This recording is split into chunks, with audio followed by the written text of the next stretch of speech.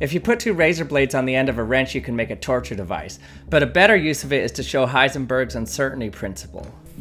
If I shine a laser through the gap here and then look at the spot on the wall, you'll see something interesting when I change the gap width.